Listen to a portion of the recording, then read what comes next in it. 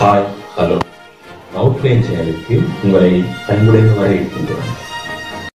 இதுவரைக்கும் சப்ஸ்கிரைப் பண்ணாதவர்கள் இந்த வீடியோ கீழே இருக்கும் சப்ஸ்கிரைப் பட்டனை அருகிலுள்ள பெல் பட்டனை கிளிக் பண்ணுங்க. தினம் தினம் புதிய வீடியோக்கள் காத்திருக்கின்றன. ஹாய் நண்பர்களே இந்த வீடியோ பதிவில் என்ன பார்க்க போகிறோம் என்றால் தொடர்ந்து சூடாக காஃபி டீ அருந்துவதால் ஏற்படுகின்ற நோய் பற்றி பார்க்க போகிறோம். நிறைய பேர் காலையில் இருந்தவுடன் சுட சுட காஃபி குடித்தால் தான் அன்றைய தினம் சுறுசுறுப்பாக வேலை செய்வார்கள். ஒபிஸில் வேலை செய்கிறவர்கள் ஒபிஸில் வேலை செய்கின்ற நேரத்தில் அரை மணி நேரம் இடைவெளி கிடைக்கும். சிலருக்கு சூடாக டீயோ காஃபியோ குடித்தே ஆக வேண்டும். இல்லாவிட்டால் தலைவலி வந்துவிடும். சிலருக்கு ஸ்ட்ராங்காக வேணும் சிலருக்கு மீடியமாக வேணும் இன்னும் சிலருக்கு சீனி கூடியாக வேண்டும். இன்னும் சிலருக்கு சீனி குறைவாக வேண்டும். இதே போன்ற இன்னும் இன்னொரு வகையினர் உண்டு.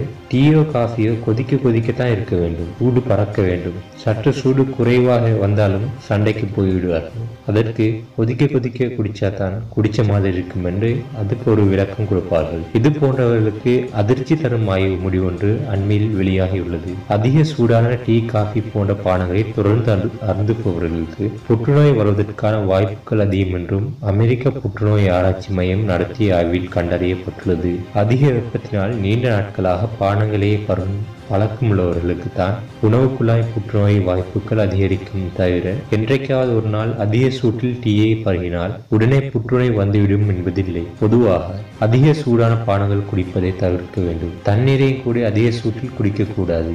நமது வெப்பநிலை கேட்ட வெப்பத்தில் தான் பானங்களை குடிக்க வேண்டும். ஆரோக்கியமான வாழ்க்கை முறை ஊட்டச்சத்து உணவுகள் ஆகியவை எந்த புற்றுநோயும் தடுக்கும். என்ற ஒரு நாள் அவசரத்தில் டீயை அதிக சூட்டில் குடிப்பதில் தவறில்லை. ஆனால் அதே பழக்கமாக்கிவிட்டால் எதிர்பாராத விளைவுகள் ஏற்படும் என்பதை இந்த ஆய்வு முடிவு விளக்குகிறது.